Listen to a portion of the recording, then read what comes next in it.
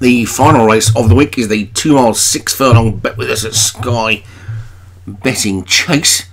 It's a 0 to 120 and it's a massive field for a 0 to 120. Bernie span up the top for David Robertson. Langley Star, Graham Clutterbuck ready to go. Badger Gogan, Biller Tudor, Graham Clutterbuck, Crogging Detail, James Shea, Bookshot, Daniel French, Roller 6, Craig Beckwith, Elvis, the Lockley front runner, Martin Little, Zena Marbell, Padraig Hogan, Olive Oil, Matt Cooper, Unix Picasso, Alex Cherry, Quota Ainder for James Shea, and Liam Crescent, Derek Hinton, Fearless Paul Parsons, Tangled Martin Lidham, Rhythmic Room Alex Cherry, and Thunder Rosa for Matt Cooper. A field of 17 then for the week 12 finale, just next week to go. Uh, they're away, and racing season's sort of flown by, really.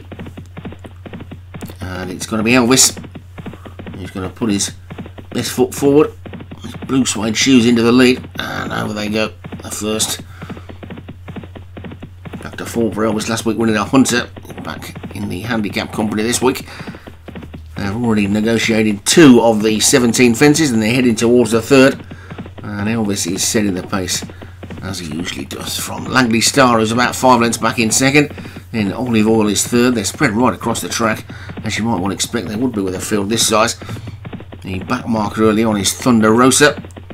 And it's Elvis. Who's in front. Probably a line of four of them spread right across the track, sharing second. Closest to us is Langley Star. Then Rhythmic Room, then Olive Oil, and on the far side is Under the Ebb Crescent in the pink and black. Tucked in behind them, Tangled in the red rum colours. Then Crogging Detail and Bookshot Fearless is next. And on the near side, Bernie Span in an almost luminous blue and turquoise blue and mauve hoops. Mauve, purple, lilac, sure what shade of purple they are. They get over the next, ah, there's a mistake there by Rhythmic Room as they get to the next, that's the fifth. All safely over it with ready to go now, the back marker. Elvis clear in front. Oh, good eight lengths there. Rhythmic Room is in second, and Liam Crescent is third. Wide the track, Biller A Tudor, stable companion of Langley Star as they get over the Grand National Star fence. And there's a fall there, Unix Picasso has gone, so Unix Picasso is out of it. Not painting a very nice picture for Alex Cherry because he hasn't got any. Oh, he has got another one. He's got Rhythmic Room, so he's still got a chance to get a win. And Elvis is in front from Rhythmic Room second, and Liam Crescent is third. Then Bernie Span, the top weight on the inside, with Roller 6 getting much closer. Then Langley Star and Thunder Rosa. Bookshot is in that group with Fearless as well there.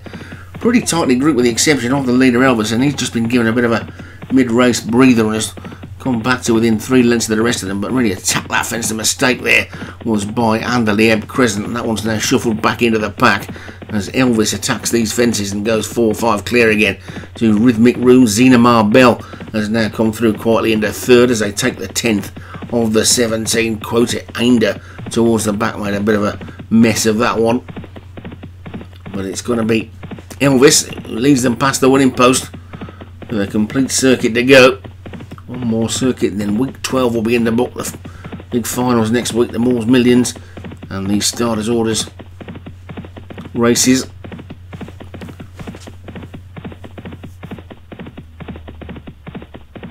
And it's Elvis in the lead. Also, it's the sort of French version of the Cheltenham Festival next week, isn't it, as well? So, lots of good racing to come still in the final week. And Elvis is the leader from Zena Marbell in second. Then Rhythmic Room is third, Bernie Span, and then Tangled, Bookshot, and Fearless as they continue down this back straight over that one. Elvis jumped it really well and got away from it well, and is five clear of Zena Marbell, who's second. Tangled has moved through into third as they get over the 12th. As a fall of there, Billeritude is gone.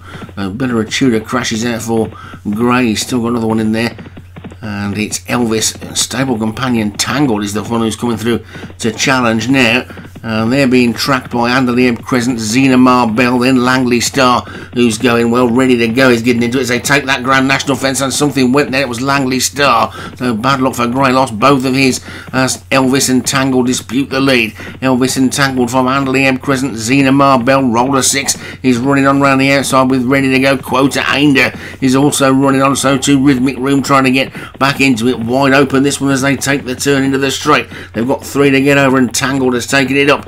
Elvis is in second. Then comes Zena Marbell ready to go. Roller six is looking a big danger on the outside as they come into the straight. Tangled has gone on. Tangled in front. Elvis trying to battle back over on this near side, ready to go. Over the third last they go. Tangled landed in the lead, but ready to go. Looks to be going the better of the two as they get over the second last. Tangled over on the far side, down this near side, ready to go. Roller six.